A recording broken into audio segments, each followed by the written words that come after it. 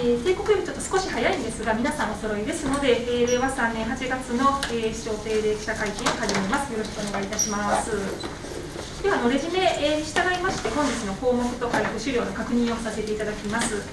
1番目は新型コロナウイルス感染症関連で、えー、市内の感染状況とワクチン接種に関してお伝えをいたします。配布資料は昨日資料提供させていただいた西北接種会場の追加予約のリリースペーパーとなっております。2番目は2021イタリア・ボローニャ国際絵本原画展の開催についてです。リリースペーパーとチラシをお配りしております。以上となりますが、お残しでございますでしょうか。ありがとうございます。では、今回もまずはボローニャから参りましょうか。はい。はい、お願いします。じゃあ、よろしくお願いします。えー、まあ、毎年、大谷美術館で行っております。イタリア・ボローニャ国際絵本原画展の開催についてということですが、まあ、昨年は残念ながらあできませんでしたけれども、今年もですねコロナの中で続いてはおりますが、今年はできそうだということでございます。えー、緊急事態宣言発令という中ではありますが、あ昨年のように美術館まで閉じてということではございませんので、えこういう中でですね感染対策を講じながらあ開催をさせていただくということでご案内をさせていただきます。えまあ、これはあ今年はですね68カ国3235組の応募のうち日本人8名を含む23カ国76作家が入選を果たしたというようなことでございます。えー、イタリアではかなわなかった入選作の原画展示を日本で行いますとイタリアでできなかったんですよね。え、というようなことでございます。えー、まあ、これについては以上です。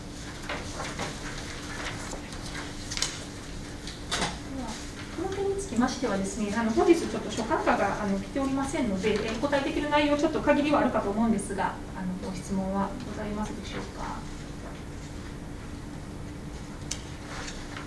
ございますか？はい、もしあのございましたら、えっと恐れ入りますが大谷美術館の方にお尋ねいただきますようにお願いをいたします。ではあの項目1番目に戻りまして、え新型コロナウイルス感染症関連について、えお願いいたします。はい。それではまずですね、あの感染状況、その認識について、えー、まずお話をさせていただきたいと思います。今日は、まあ、いくつかボードを用意してまいりました。まあ、一つですね、まあ、皆さんにあの連日お知らせしているところでございますが、感染者数、まあ、今日は120ということですが、あの昨日は151ということで、えー、過去最多、えー、市内では過去最多ということになりました。えー、特にもうこう見ていただくと分かりますが、もう3波、4波と比べてもですね、相当この棒の伸びもすごいですし、数として、えー、かなりの数となっております。まあ、その特徴でございますけれども4波のピークと第5波のこの違いでございますけれども、えー、4波は60歳以上が25%ぐらい占めておりましたけれども今回は60%以上がもう7%ということでございます。えー、もうこれはあまあいろいろ言われているところでございますが、まあ、ワクチンの普及ということと関係があるんではないかということであるとかですねまた今回えー、まあ、新たな株であればですね今までは飛沫だけだったのがですねちょっと今回はあの空気中のものでも感染しやすいと言われていることからあ今までと同じ生活パターンをしてたんだけれども家庭内で感染したとかそういうようなのが増えているんではないかというふうに保健所の方から、ま推察として聞いているところであります。えー、そして感染者数の今の西宮の現状でございますが、これ10万人当たりの感染者、都道府県ランキングという形で、えー、なってますけれども、まあ、兵庫県はですね、これ実はあの8月17現在ですので、実はあの昨日現在でこれよりも数字が上がって、えー、兵庫県自体も89人、110万人当たり89人までアップしてます。で西宮市はえ今122というのが17日現在ですがこれが130を超えて大阪も130を超えてですねというようなところであります、まあ、つまり西宮だけ見ますと大阪と並んでですね、まあ、東京までは行きませんがえ東京の隣接県と同じぐらいのレベルにまで相当達しているというような状況でございます。あんまり歓迎する順位ではございませんで実際、療養者数の現状、皆さんどうしていただいているかということでございます、えー、自宅療養が40%と書いておりますが、一方で入院療養と調整中も、まあ、現実には自宅というようなところでもございますので、まあ、そういう中で、えーまあ、入院、宿泊療養というのが大変全体の中ではもう割合は少ないというようなことでございます。えー、まあ、その中でですね今日またあの市長メッセージとして皆さんに、まあ、市民の皆さんに呼びかける、まあ、市長メッセージとして今日発出させていただきますが先ほど申し上げた感染状況をお話をするとともにですねあの、まあ、軽症、中等症、重症というような言い方をしたときに、まあ、これも最近よく言われていることでありますが市民の皆さんに浸透しきってないところでですねあの軽症となると軽いんだなと中等症となると、ま、ちょっとちょっと重いのかなという程度なんですけどももう中等症となるともう人生の中で一番息苦しい時であったとかですね人工呼吸器つけてないですけれどももうこれ大変な時である。軽症であればあもう高熱がずっと続いているということでもそれはまだそれだけであれば軽症でありますのでそういう意味ではあの本当にそうなることによって大変、えー、言われているイメージの症状よりも相当重いということを、まあ、しっかりと認識をしていただきたいということでですね。それからあ結局濃厚接触になりますとですね、まあ、言うまでもありませんが14日間あの健康観察になりますのでその14日間すし詰めすし詰めって言いませんね缶詰で14日間なりますのでですね学校会社当然行けませんのでそうしたことについて、えー、まあ、現実をですねあの認識をぜひいただきたいということで、えー、今日あの視聴メッセージというのを、えー、まあ、出させていただいたところであります。まそれでちょっとあの保健所の対応について私の方から一つ、まあ、お願いを、まあ、今日また私の行動でですけど申し上げようと思ってるんですがちょっとパルオキシメーターについてなんですけど実はあの市ではですねこのパルオキシメーターこれ418ってありますけど今1600個西宮市でこれ買ってます。でこれをですね今あの第5波の段階からあの独自にキントーンというまあベースとなるソフトというかプログラムを使ってですね西宮市の保健所は相当デジタル化をしてですね、まあ、今まではこう壁にベタベタベタと貼っておったんですけれども今はもう、えー、まあ A さん、えー、いつ発生届が出た今この人の体温がいくつで、えー、それ SPO2 がいくつで、えー、とそれで自分で入力してもらえる人はその人の状態を1日2回入力してもらいます。で体温とそれからあこの SPO2 を測るパルオキシメーターと。それから解熱剤飲んだか。あそれから食事取れてるか水分取れてるかみたいなのをチェックしてですねそれで、えー、体温高かったりこれが95以下95以下になったらですねそこのプログラムの中でですねこの人は要注意だっていうのがピコンピコンというピコンといいますかその目立つように表示をされるようなシステムがあります。ですので今まではこうこの人どうだろうかってなってたのがですね一目瞭然でもう医療職の職員が見るとですねあこの人ちょっとあの自宅だけれども心配だというような状態になっております。でこのパルオキシメーターですね今のこちらの方から保健所の方から今毎回送っております。お送りしててですね、まあ、今日まで、えー、累積でおおむね1100から1200件ほど送って、えー、おるんですけれども在庫は今1600あるんですが、あの、隔離解除になってから72時間つまり、まあ、あなたはもう、まあ、なんて言いますかね心配ないと言いますかとにかくコロナの経過観察というところでは済みましたというようなふうになるとですね、まあ、返していただかなきゃいけないんですがですねそのためにまあこの封筒も入れてるんですけどもなんと今あの260個返ってきてないというですねえー、それがちょっと困っちゃっているというようなところが正直ございます。あのまあ、あの我々にとってもこういうことが初めてなもんですからこれが1個7000円か8000円するもんでございましてで先ほど来申し上げてるようにあの1600個買ってます。で今その帰ってくるべき人が260個帰ってきてませんけど現在お送りして稼働しているのが800とか900ございますんで今この瞬間はまだあの400、500ぐらい保健所にあるはずなんですがこのままのペースでいくとですねあのこれがなくなっちゃうとですね、えー、ちょっとこれ大事なものでありますので、えー、まあ、もちろん買い足せというような言い方もなくはないんですがただあの今はまだかろうじて買えるかもしれないんですけどもただちょっとこの帰ってくるものが帰ってきたら 買い足さないでもいいもんでございますので市の備品としてこれちゃんとこう一つ一つ管理してるものでございますからあのまあそういうことを含めてですねあのこれも円滑に西宮の在宅で療養を余儀なくされている方々を、えー、保健所の方でですねしっかりと掌握していくための一環として、えー、山を越えられた方がですね、えー、スムーズにお返しいただくことも一つご協力としてお願いしたいというのがございます。えー、あとあのワクチン接種の状況、ワクチンの接種につきましてはですね、あの新たに昨日発表いたしましたが、市の大規模接種会場ですね、西北接種会場の予約の枠を23日から予約受付いたしますが、新たに5700人分、えー、今、予約の受付をさせていただいております。それが一つ。でこれはあの13クールでですねあの国から示された箱が、まあ、いくつ？41だと思います。えー、13 41その国から数が示されたのに合わせてですねじゃあ、うん、これを集団に回せると。あの個別接種の方に主体的に回してますけれどもその分余力がある分を集団に回すというスキームを取っておりますのでそれで数が出てまいりましたのでその5700を、えーまあ、新たな集団接種の枠として出したということであります。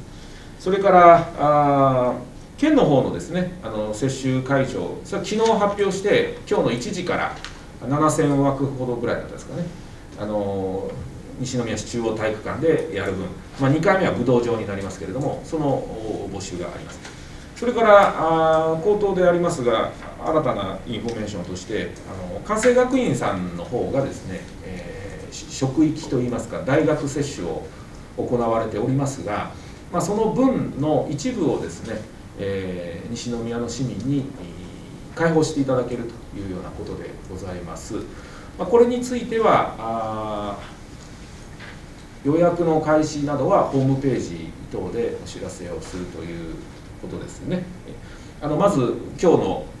まあ、口頭で申し上げられる段階としてはあの一部関学さんの大規模接種の集団接種の部分を、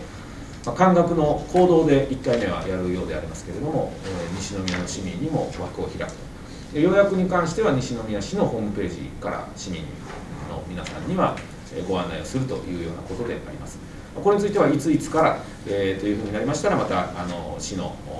SNS 等で、えー、ご連絡をさせていただき、えー、の周知をさせていただきたいと思っております。えー、まあ、私からは以上とさせていただきまして、えー、まあ、来たワクチンはあのとにかく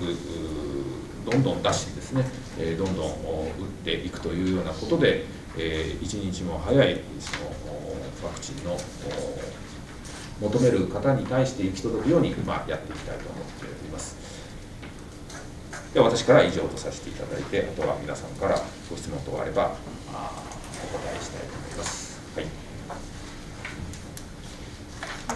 パルスパルスを締めたなんですけど、これその出払っている分も合わせるとトータルで合計でいくつある？千六百。千六百。今出ているのは出ているのはあの千百ぐらい。そうですね。はい。だから今リアルに五百五百ぐらいはあるっちゃ四百でこれ番号ですね千六百万でついてるんですけどね。はい。あのえー、1100個のうちの200個260個ぐらいが返ってきてない分ああの260個があの本来もう返していただいてもいい方から返ってきてないと。返ってき返返してもらうべき人というのは隔離解除後72時間を経た人ってそういうことなんですその返してもらわないのはその使用者がまだ置いときたいと。そういう指標上されていらっしゃるわけですあのじゃあそこは竹林さん、はい、保健所竹林ですあの比較的あの若い方が今回、えー、ファースト指名で自宅でおられるということで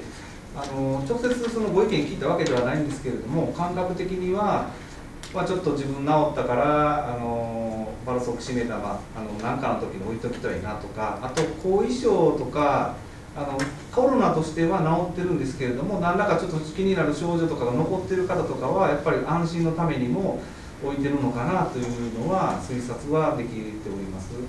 であのこちらも返していただけるようにあの各師匠とか各師匠に保健センターってあるんですけどもあの最寄りのところで返してくださいとかあのあと返信用の封筒とか師匠が先ほどお見せしましたけれどもこういった形でできるだけ手間をかけずにあの返却いただけるようにお願いはしているところなんですけれどもなかなかそこがあの多分手元に置いときたいとかまた面倒くさいとかいうのもあって帰ってこないのかなとは思ってます。まあ、こういうですね、えー、返却時の注意点、えー、でですね、まあ必ず返却してくださいというようなこととかですね、えー、紙に入れて4枚入れてお出しはしてるんですけども。これは、まあ、これは感染された感染された方へというこのまあご案内とですね。それからパルオキシメーターのまあ使い方というので、えー、まあ書いてること。それでまあその中にはこう療養が終了したら必ず返却してくださいという。で、まあ、こちらからすると療養が返却した段階で返してねということとですね、まあ、あとはちょっと今避難所でですねあの台風大雨時の避難についてというようなことについて、まあ、実際もなった方々にご案内しているのと、まあ、合わせて先ほどの4枚入れてはおるんですけども。ただまこちらにしてみてもまあ初めてのことでもありますんで、まああのまあ、私なんか例えば切って貼っといたらいいんじゃないかとか。ただ切って貼ったらですねそのちゃんと届けてたらなんか切って無駄になりますし。まあまああの返信用のこの番号をつけてたらなのであの番号を取るの結構時間がかかったりするのもありますんで、えー、まあそういう方からするとまあ面倒だとか今竹林課長が言ったように、えー、持っときたいとかですね。いろいろあるのかもしれないんですけども。まあそういう意味ではこれあの、えー、例えばこう食事とある方々にはこう独居の方とかにはあの食事セットありますね。あれと一緒に送るもんですけども。あれはまあお渡ししてるもんなんですけど、まあ、それと一緒にあるもんですからあのもらえたと思われたのかもしれないですが、まあ、申し上げたようにこのそういう療養で、えー、そのチェックが必要という対象の方にこれが500円1000円とかだったらですねお渡ししてというふうなことあるんですけど、まあ、78000円かかるもんですから。まあそういう意味ではあの市の貴重な財産でありますんでですねそれをうまく使うためにはですね用が終わった方はどうぞご返却をよろしくお願いしたいというそういうところであります。じゃ細かい点なんですいいですか。はい、えっとじゃあ自分でお金を払わないといけないということなんですね。送料については。あ、送料えっと返却の場合はあの郵便代は機器代とかはあの自己負担いくらぐらいなんですか？おそらく220円ぐらいだと思います。まあ、もしくはあのもう元気といいますか療養終わってますからあの保健所とかですねあのあとは保健センター市内に6か所ありますのでそこにポイッと持ってきていただいたらそれで良いというそういうことであります第4波の時は基本的には持ってきていただいてたんですけれどもあの大体9割ぐらいの回収率だったんですけれども今回第4波になると7割ぐらいまで回収率がちょっと落ちてまして。第5波。えあごめんなさい第5波。第5波の時はあの今は現状ですけれども第5波の時は7割ぐらいまでの回収率が落ちてますのでちょっとこのままいきますとちょっと本来あの健康観察で使っていただきたい方に回す在庫がなくなってしまう可能性があります。で随時あの追加で在庫を増やしてはいるんですけれども、あの全国的にこういう状態になってきましたので、そろそろあの納品もスムーズにいかなくなってくるということに業者からも言われてますので、今ある貴重なあのパルスオキシメーターを十分に活用していきたいなという思いがあって、ちょっとあの困っているということをちょっとあのご説明いただいてます。誰が持ってるか分かってると思うんですけど、はいあの的なことをしてるこれから職員ちょっと導入しまして、あの返してくださいとお願いの方は、電話でさせていただこうと思ってます。これからこれから、はい。まだやってないまだそうですね。着払いで送ってもらうとか、そこもそういう対応があるその可能性もちょっとこれ、今検討してます。どういう形であれば返してもらいやすいのかと。あ、そうですね。はい。あれがだから時間かかるんだよええまあもちろんその他の部署のでどうかとかいろいろ言ってはいるんだけど、まあ、ただ郵便局とのその仕切りの中では、えーすぐポンと出てこないっていう認識はありますけど、これは、えっと、在宅療養の方に必ず配ってるんですそれとも自分は自分の持ってるからいらないって言ったらあの自分で持ってるって方はあのやり取りの時でお分かり分かる時はお渡ししてないんですけども基本的に小学校5年生以上の方にはあの1人1台お渡しさせてもらってます。ただあのすでにもあの同居の家族で陽性になってる方で持ってますっていう方についてはじゃあ世帯で1つにしてくださいねということであの話をさせていただいてます一番長い方にどのぐらい対してくれてないあれですかね多分1ヶ月以上は帰ってきてないと思います、はい、第5波が始まったぐらいから貸し出しまた出てますので。第4波の時のはい。方で、まだ持ったままの方もいらっしゃるんですね、9割。そうですね。はい。もう1ヶ月以上っていうのはあのもう72時間過はい。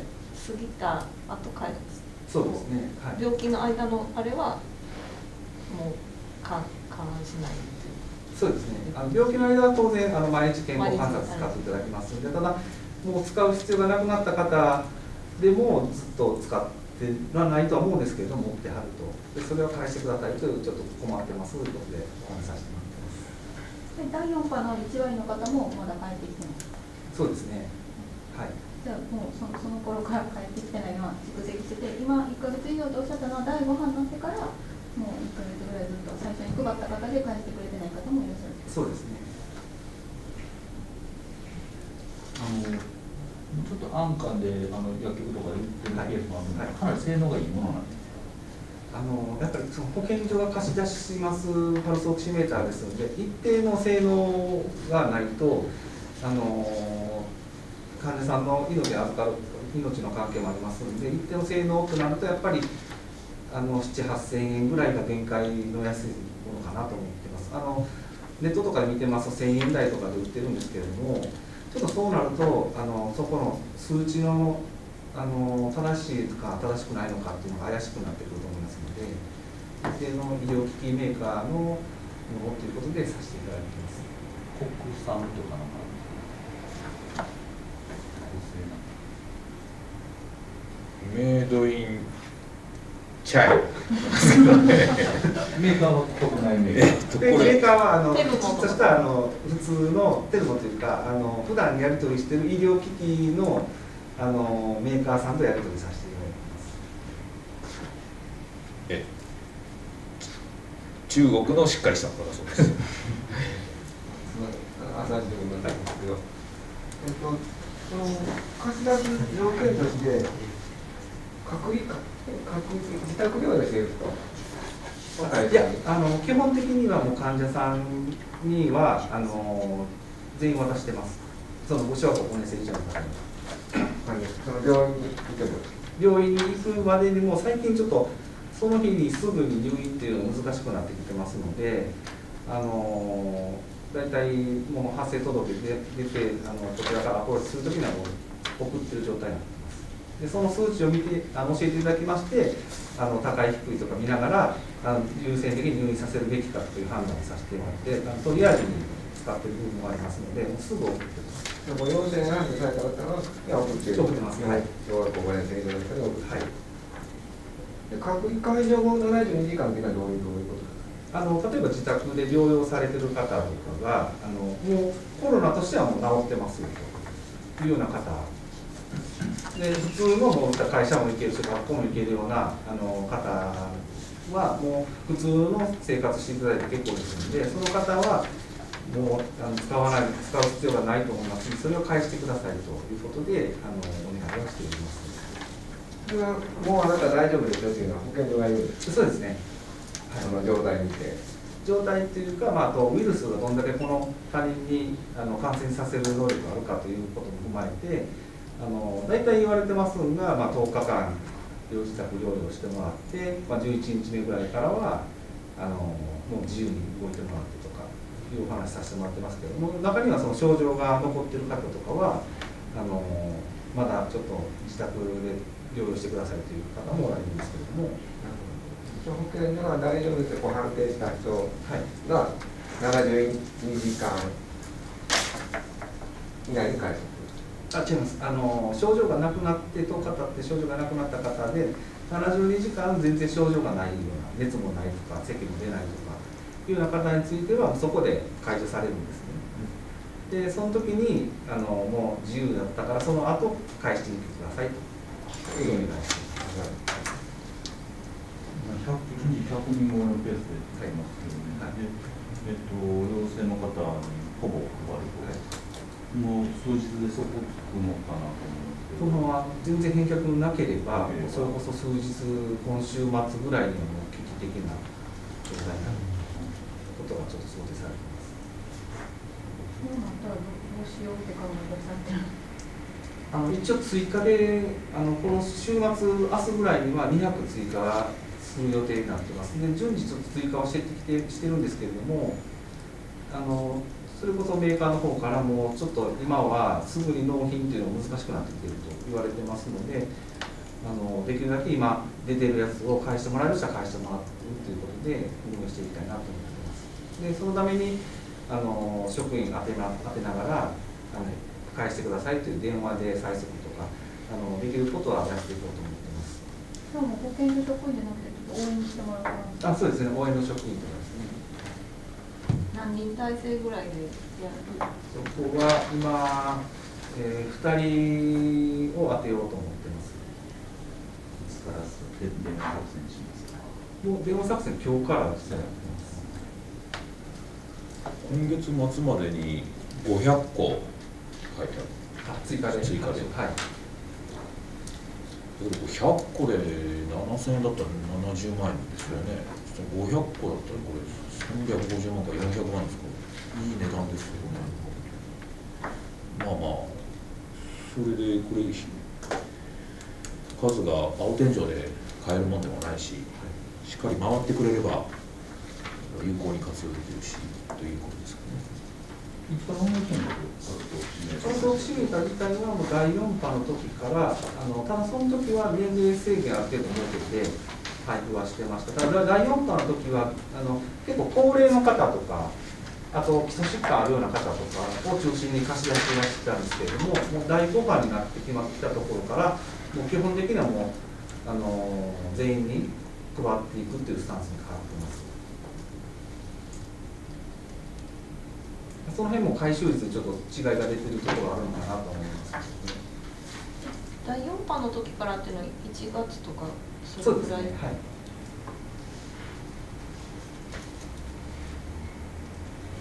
第5波若い方多いですけど、書いてほしいですね。そそこの関係もあって回収率も悪いのかなっていうのはちょっと思ってはいるんですけど、そこはただエビデンスがないのでなんとも言えないですけどね。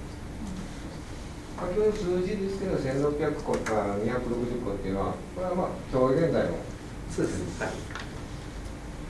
その、えっと、今月末までに500個追加っていうのは今週末に入ってくる200個も含めたあ、含めてですね。あの1600今現在ありますけれども、それに加えて月末までにプラス500個。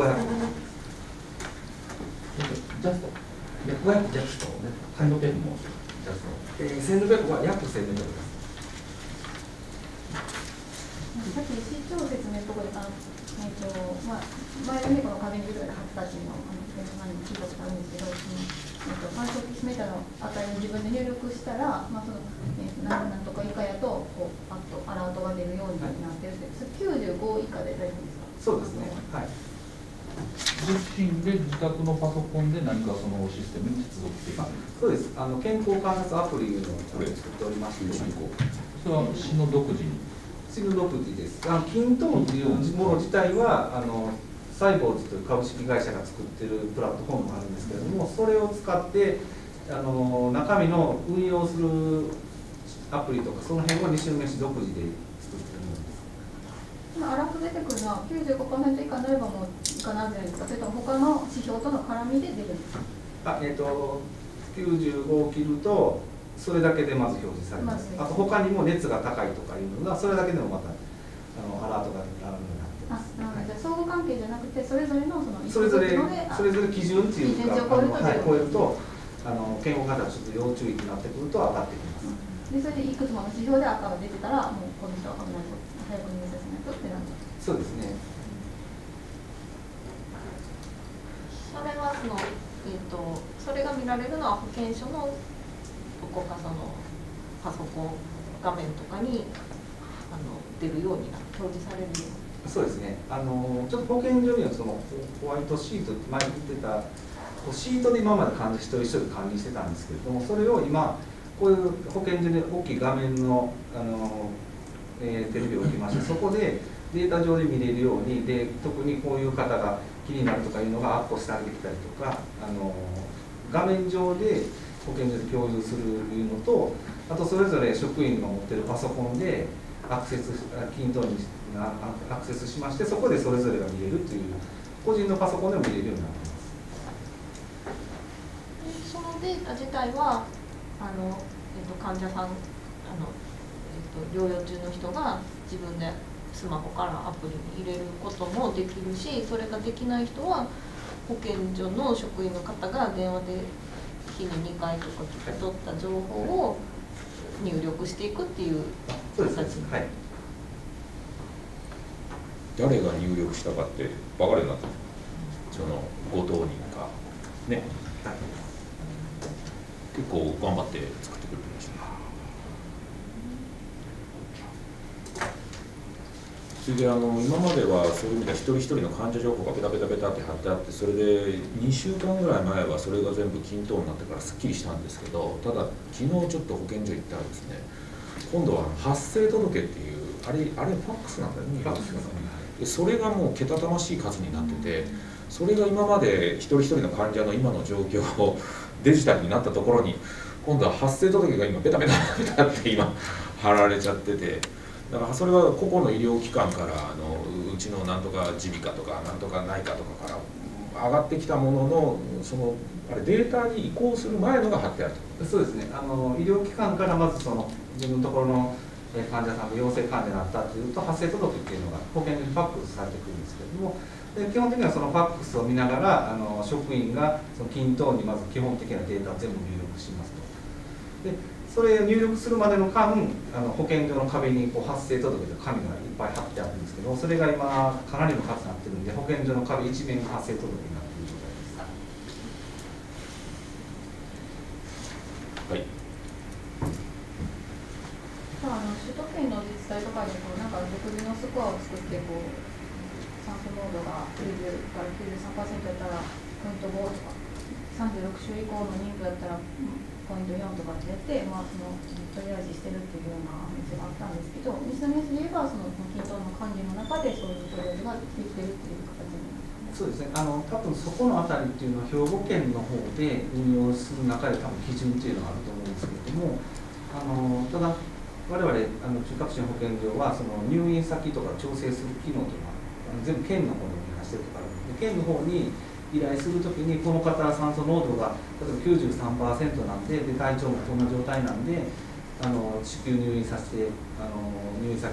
調整してくださいというお話にします。で逆に言うとあのパルスオキシメーターがないような方でいくと体温だけで調整っていうのが非常に難しいですのであの酸素濃度がこんだけですという方がやっぱりリアリティがあってあの県の調整の方も逆にスムーズに出やすい場合がありますので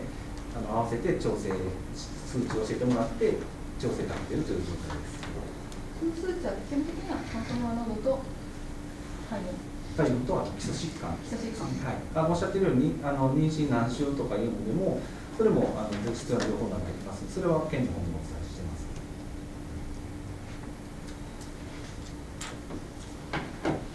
先ほどちょっと一つ戻って私が言い漏らしたことがございましてあの関学さんの一部市民開放についてですけれども予約の日時予約開始の日時が決まっておりましてウェブのみで8月25日昼12時半からの受付開始と。そして、えーワクチンはモデルナと。8月25日昼12時半からウェブで市のホームページでですねそして、えーモデルナ社製ということであります。受付開始25日12時半ということでございます。ワックは今のところまだ決まってないということ？えあのー今のところかっちりとは決まっておりますまあまあ学生さんのために あるものが基本なものですから、はい、それの何て言いますか。あーそっちの学生さんの自体は8月23日からあのー接種が始まるんですよね。でそれのあなんて言いますか。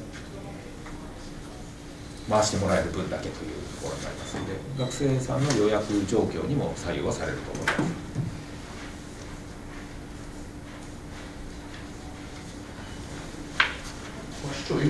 どうぞ。今、甲子園やってますよね、はい。甲子園。はいで、あの感染者が出てるはい。と、急時、はい。それでですね、県では緊急事態宣言を出していますよね、はい。この中でこう全国から県境を越えてやってきていると、はい。こういう状況について、例えば懸念とか、もうちょっと人数絞れとか、はい。無観客にしろとか、はい。そういう要請をするべきではないのかという意見もありますし。はい。甲子園自体の開催に対してオリンピックであれだけ騒いだメディアが何も言わないと。はいいうことに対して非常にあの疑問に思っている市民方々もいらっしゃるとはい、まあ、地元の市長としてですねこの今回の甲子園大会についてどう考えてられるのか見られてられるのかあるいはこうしてほしいとかですねあの、まあ、今雨でどんどん後に行ってますけれども特にやっぱりコロナの心配というのは絶対ゼロではないと思うんですよね。それについていかがでしょう。いや実は私も心配はしてはおりますしあの保健所の方がですねあのかなり当初からあ心配はしているところで高野連に対して、まあ、直接うー医官があ現地立ち入りなどしてですねあの感染対策の徹底などはあの常に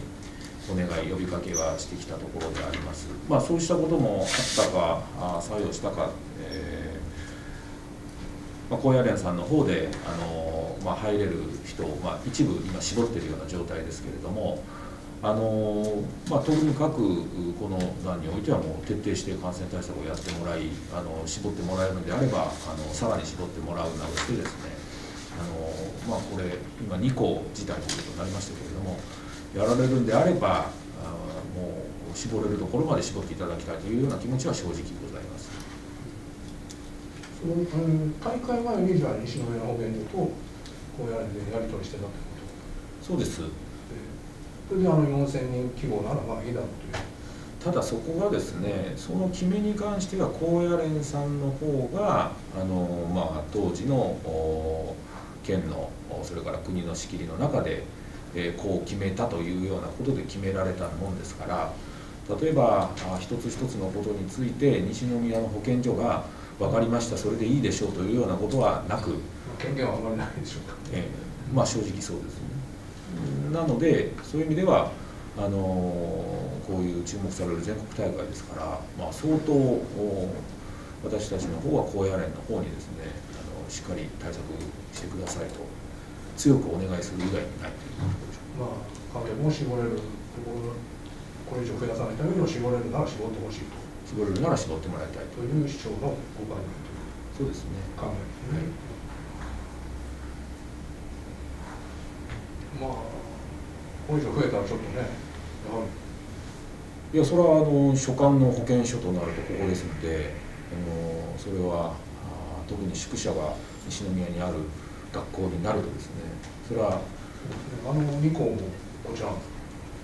えーっといや大阪の方片方は西宮でないのは聞いてますけど片方がどう両方とも西宮の宿舎ではなかあ、った。じゃあ、まあ、いやまあまあそれは結果論なんですよねでは。可能性もあるし、そうですね。届け出はどこに出ることになるんですか？その宿舎のある自治体とか、まあの2つ県とか。に関してはそうだよね。なるあのそうですね。あのううちではなかったよね。はい。あの宿泊施設があるところの保健所に出されてる現状では特に保健所がまた立ち入ってるとそういうことはないわけ？あのいつに立ち入ったかというところまでは実際に把握してないんですけど大会の前にえーしっかり現地に行ったというのは聞いてはおります。今またこう出だしてる全部ちょっと行こうかなとかあるいは県ともちょっと調整してとかっていうところまではまだ行ってないというどうだろですね。まあこれ以上増えたらでしょうけど。ね私も反対してるわけじゃないですよ。中止しろって言ったわけじゃなくてあのねオリンピックでコロナコロナが広がるとか言いながら甲子園には何も言ってないわけですからこれちょっとおかしいんじゃないの？というのは意識も国民にありますしね。あのいずれにせよすみません今の持っている情報は大会前に保健所と高野連で直接コミュニケーションは取って立ち入りもしたということですが今昨日今日どうしてるかということはちょっとまたあのフォローしておきます。ただいずれにせよ高野連さんの方にまあこちらも今この瞬間私がどこか出向いたというのはありませんけれどもちょっと相当引き締めてやってもらいたいなというような気持ちはまずございます。来てる人たちとは西宮で例えばうろうろしてるってわけじゃないですね。観客とか選手にしても。まあこの6日7日は特にねもうやってないややれてないですからね。いや基本的にはそのうろうろしているというようなことはそれは市民の声でそういうのを聞いてはおりません。そのララポートをおそのそれと思われる方たちが相当うろうろしているとは聞いてはないんでそれは直行直帰というようなことは基本的におおむね守っていただいているんであろうとは思います。まあそれ以上ねなかなか今の段階では言えないでしょうそうですね。はい。けどまあ無事このままね雨もやんで決勝までできれば。まあそうですね、まあ、ここで、えー私がこういうところでやるべき、やめるべきというようなことまではちょっとこう研究はしようもないとこまあそろなんで、こまで求めてませんけど。はいはい、人としてはもうちゃんと引き締めてやってほしい。かなり引き締めてやってもらいたいと思います。一方でその子供に関するですねその規制というか子供があの発達の段階で必要な、まあ、いろんなイベントがですねすごいこう規制されている中であのやることにまたその意義があるということもすごいあの社会的には感じている方も結構いるのかなと思うんですけどもそのあたりは市長どう感じですかその若者子供たちについてこう対策をしながら一定程度やっていくべきじゃないかという意見もあると思うんですけど。あの先日教育委員会とも話したんですけれども、まあ、これは高校野球の話じゃなくて例えば修学旅行なんかも、まあ、今緊急事態宣言にもろかぶってる時はなかなか正直泊まりはきついですがただ時期をずらすなりですね、まあ、場合によったら、まあ、宿泊を伴わないとかであってもですね何らかの形その大切な教育の機会ですから、まあ、子どもたちの教育の機会そういう機会が、まあ、その瞬間その学年というのは大人と違ってその時しかありませんのであの確保できるように工夫をしてくれるように依頼はして教育委員会もそうした方向で動いてはいます。であと学校の話でいうとあの昨日もコロナの本部会議で町内で議論してたんですけれどもあの授業を受けてですね前向いて授業を受けてる段ではあのリスクがゼロではありませんけど相対的にリスクは高くないというふうに私も教育委員会も思ってはいます。ただやっぱりこの部活とかですねうんなんなんリスクがありそうな瞬間というのがこれは今日までの蓄積で見えてきてますんでですね、まあ、そういうところをしっかりメリハリつけて気を引き締めてやってもらいたいなと思ってます、ま、先般もあの、えー私私学でありますけれどもあの6名ぐらいですかねあのあれも部活で出ましたんでそういう意味では授業でえーどうというような風には我々は、まあ、そこはなんとか現場で頑張ってくれてると思いますのでそういう意味ではあの修学旅行等々もですね一つ一つのあの行動と、まあ、隙がない形でやればあのできるものはできるのかなじゃないだろうかというふうには思ってます。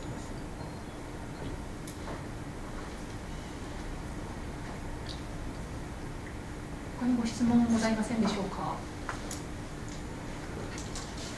では、えーなければ以上をもちまして、えー本日の定例会見を終了いたします。えーお忙しい中お集まりいただきましてありがとうございました。ありがとうございました。